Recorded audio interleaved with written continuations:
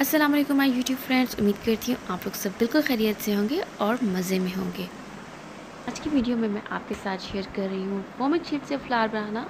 इससे पहले भी मैंने आपके साथ शेयर किया था फ्लावर बनाने का एक तरीका जो कि बहुत ही आसान और ख़ूबसूरत फ्लावर बना था।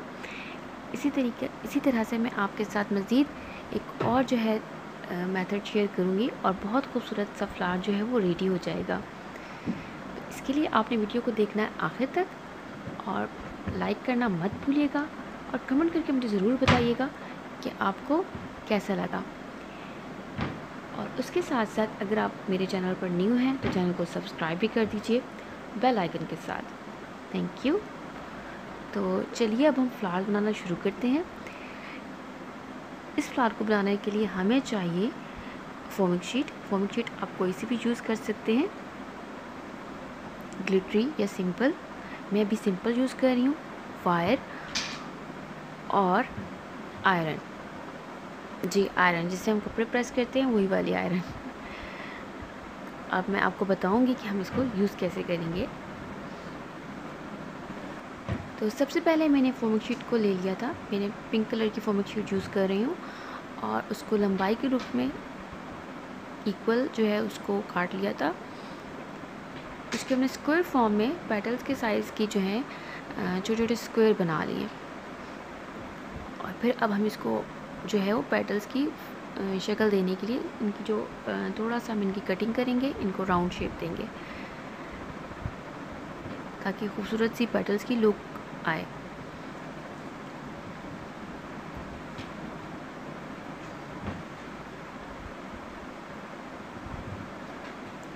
डिपेंड करता है कि आपने फ्लावर का क्या आ, कितना साइज़ रखना है कितना बड़ा आपने उसको बनाना है। तो आप उतने ही उसकी पेटल्स जो हैं वो आ, उनकी क्वांटिटी बढ़ा सकते हैं या कम कर सकते हैं।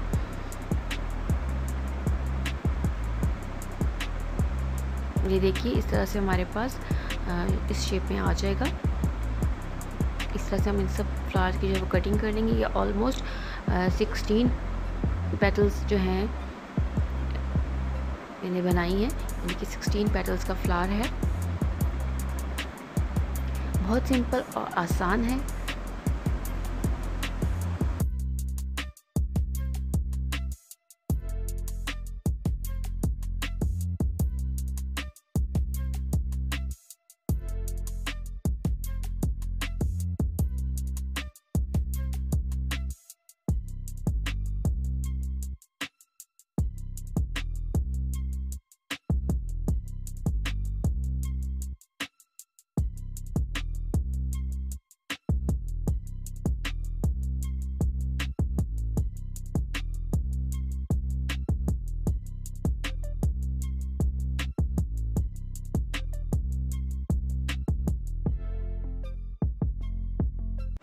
और अब हमारी जो है पेटल्स वो तैयार हो चुकी हैं। अब हमने इनको शेप देने के लिए आयरन का इस्तेमाल करना है। आयरन को थोड़ा सा हीट कर लेना है हीटअप और उसके बाद हम उसको जो पेटल की टिप होगी वो आयरन के पास लेकर जाएँगे और वो फ़ौर से उसको सॉफ्ट और टर्न कर देगा।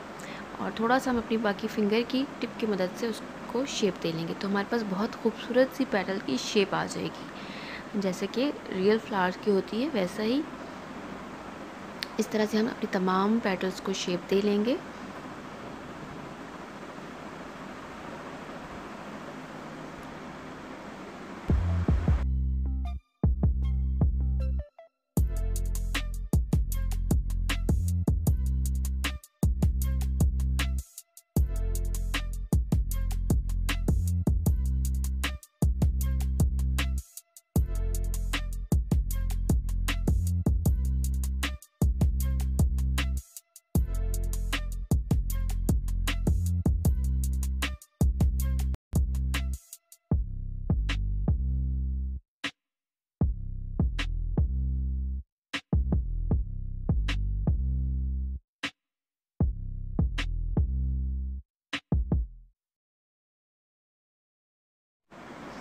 जी तो अब हमारी पेटल्स रेडी हो चुकी हैं और हमारा नेक्स्ट स्टेप ये है कि हमने इन पेटल्स को अच्छे से एक दूसरे के साथ ज्वाइन करना है।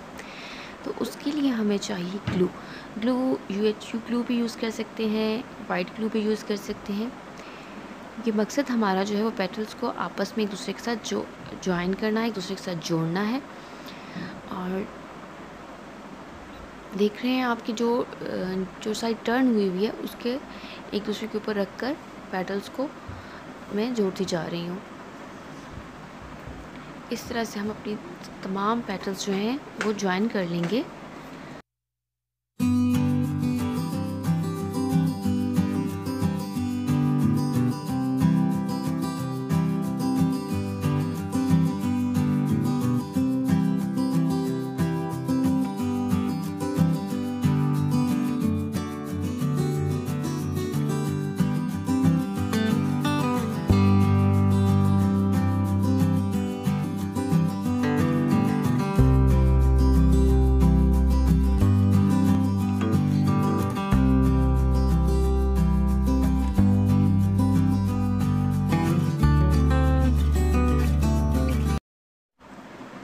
अब हमारी तमाम पेटल्स जो हैं अच्छे से एक दूसरे के साथ जुड़ गई हैं ज्वाइन हो गई हैं। अब हम इसको फ्लावर की शेप देंगे। तो जो साइड हमने टर्न की थी पेटल्स की, उस साइड को हम उसके बैक साइड पे कर देंगे। और दूसरी साइड से हम इसको आपस में राउंड करना शुरू कर देंगे। तो हमारे पास फ्लावर की शेप आना शुरू हो जाएगी। और उसके एंड पर हम थोड़ी थोड़ी ग्लू लगाते जाएँगे ताकि फॉर्मिक शीट एक दूसरे के साथ अच्छे से जुड़ जाए। पेस्ट हो जाए। और हम इसको पूरा राउंड करते जाएँगे।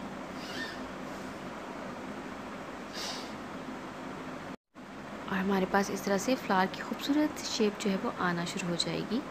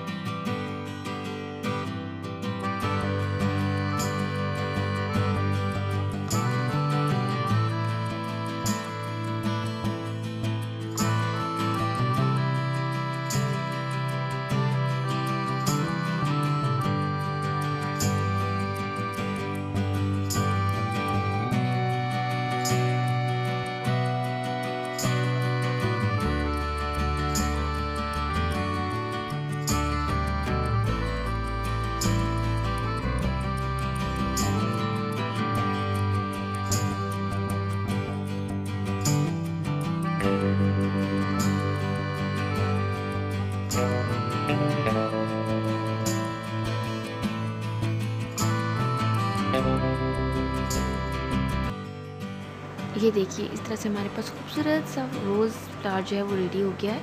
बहुत सिंपल और आसान तरीके से। इसको बच्चे भी बड़े आराम से बना सकते हैं।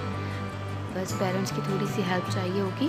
अब इसको मज़ीद जो ओरिजिनल लुक देने के लिए या नेचुरल दिखने के लिए, इसके लिए ग्रीन ब्लू बहुत ही लाइट सा ग्रीन कलर है इसलिए कैमरे में थोड़ा सा ब्लूइश लुक आ रही है। तो फोम शेप मैंने दी है और इसके हम स्टार शेप में कट करेंगे और उसको फ्लावर के साथ हम ज्वाइन करेंगे ताकि फ्लावर की थोड़ी सी लुक जो है वो ओरिजिनल लगे। और इसको हम फ्लावर के साथ पेस्ट करेंगे। अगर तो हमने इसकी स्टेम बनानी है तो हम स्टेम के साथ लीव्स भी अटैच कर सकते हैं। और अगर हम स्टेम के बगैर बनाना चाहते हैं तो हम यहाँ पर इसको साथ पेस्ट कर सकते हैं और फ्लावर्स को जस्ट अपने किसी भी गिफ्ट पैक पर या किसी बॉक्स पर हम उसको डेकोरेट कर सकते हैं। दोनों ही तरीके से हम फ्लावर्स को यूज़ कर सकते हैं।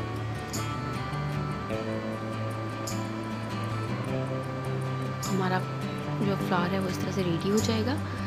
अब मैं इसको वायर के साथ जो है वो अटैच कर रही हूँ। वायर मैंने इसके सेंट्रल पार्ट में डाल दिए और इसकी जो टिप है, उसके ऊपर हम लगा देंगे ग्लू ताकि वो वापस बाहर नहीं निकलेगी इस तरह से। अच्छे से स्टक हो जाएगी फ्लावर के साथ। हम यहाँ पर इसकी स्टेम को क्रेप पेपर से या फ्लोरल टेप से अच्छे से जो है वो कवर कर सकते हैं। इस तरह से बिल्कुल नेचुरल लुक लगेगी फ्लावर की। और इसको मज़ीद खूबसूरत बनाने के लिए इसके जो सेंट्रल पार्ट है फ्लावर का, इस पर मैं छोटा सा खूबसूरत सा बीट लगाऊँगी ताकि ये बहुत खूबसूरत लगे।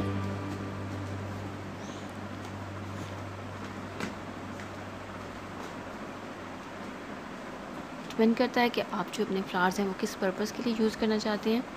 अभी मैं इसकी स्टेम को सिंपल ही रखूँगी।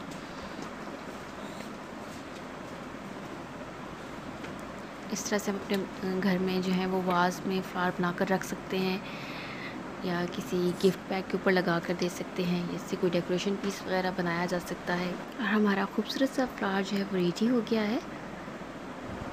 उम्मीद है वीडियो आपको अच्छी लगी होगी। तो प्लीज़ लाइक, शेयर और कमेंट करना मत भूलिएगा। अल्लाह हाफिज़।